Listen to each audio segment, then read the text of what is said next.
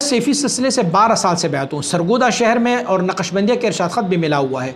मेरा सवाल यह है कि मैं मुर्शिद के पास भी जाता हूँ, लेकिन मुझे वो चीज़ नहीं मिली जो तस्कर अलिया में लिखी हुई है बात। क्या सेफ़ी सिलसिले में रूहानी आँख खुल सकती है? कशफ वगैरह हासिल हो सकता है? इसका जवाब इरशाद फरमाए।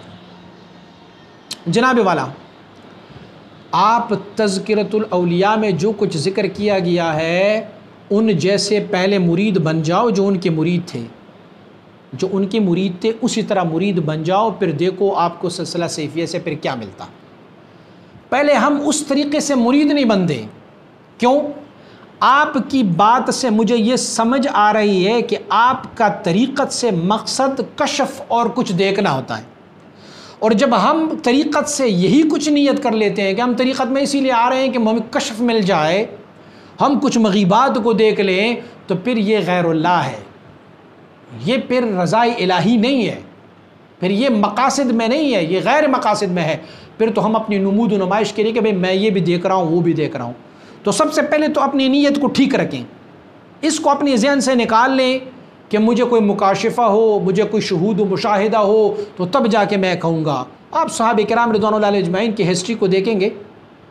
तो तस्करतुलौलिया में जिन अलिया का ज़िक्र किया गया है, उसे लाखों करोड़ों अलिया भी मिल जाए ना, वो किसी एक सहाबी के मरतबे तक नहीं पहुँच सकता।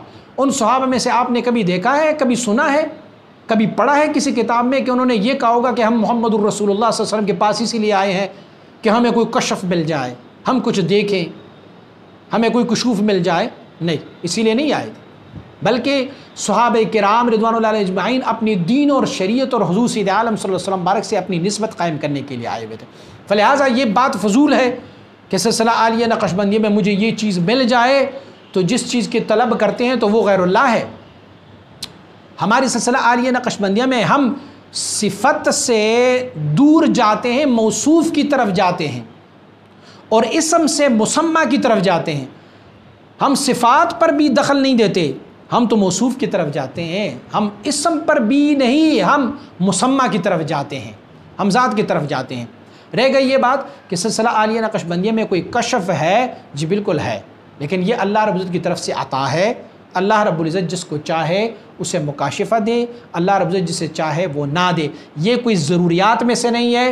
हज़रत मुजद्दलफ़ानी रहमत फरमाती, ये शहूद व मुशाहिदात और ये मुकाशफ़ात, तिलकल ख़यालात तुरबा बिहा अतफ़ाल तरीक़त। आप फरमाते ये तो ख्याल है, सोच है।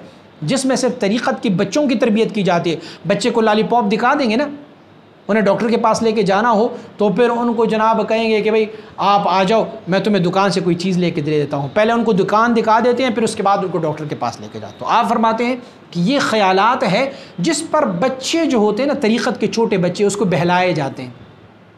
लिहाजा ये तरीक़त में कोई ज़रूरी नहीं है। आपका मुराद और मकसूद ज़ात होना चाहिए, आपका मुराद और मकसूद रज़ाई इलाही होना चाहिए, तरीक़त और शरीत होना चाहिए। कशफ और शहूद मिल गया, सो मिल गया, नहीं मिला तो हम तो अल्लाह की तालब है, अल्लाह की रज़ा की तालब है, वो मिल जाएँ। और रह गई ये वो कि तस्करतुलौलिया में जिन जिन चीज़ों का ज़िक्र किया गया है, वो आपको नहीं मिले तो पहले आप तस्करतुलौलिया की पीरों की मुरीदों के तरह बन जा, फिर देखे कि आपको मिलता है कि नहीं है। हम तो मुरीद ही नहीं बने ना। हम वैसे मुरीद बन जाएँगे जो उनके मुरीद हैं तो फिर हमें भी ये कुछ मिल सकता है। मज़ीद वीडियोज़ के लिए हमारे इस यूट्यूब चैनल को सब्सक्राइब करें और बेल आइकन पर क्लिक करें। जजाकल्ला